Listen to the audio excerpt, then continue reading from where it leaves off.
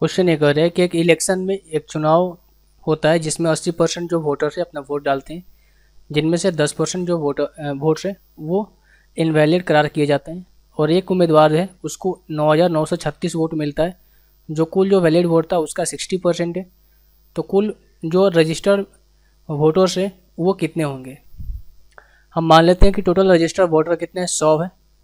सौ में से अस्सी लोगों ने क्या किया? वोट डाला है।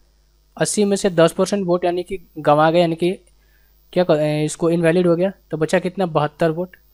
बहत्तर में से एक व्यक्ति को मिला नौ नौ तीन छः वोट। जो कि एक्चुअल में कितना? वैलिड वोट का कितना था? सिक्सटी परसेंट था यानी कि बहत्तर का सिक्सटी परसेंट था।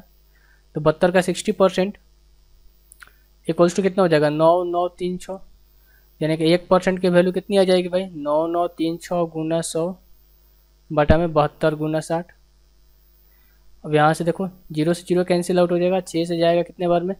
छः कम छः छः छत्तीस और छः पचतीस छः छः छत्तीस। आठ, नौ, बहत्तर, आठ दूनी का सोलह। ज़ीरो, आठ सत्तर छप्पन। फिर जाएगा ये नौ से कितने बार में? नौ दूनी अठारह, उनतीस, सत्ताईस, तेईस बार में। एक परसेंट की वैल्यू तेईस है तो सौ परसेंट की वैल्यू कितनी हो जाएगी? तेईस सौ।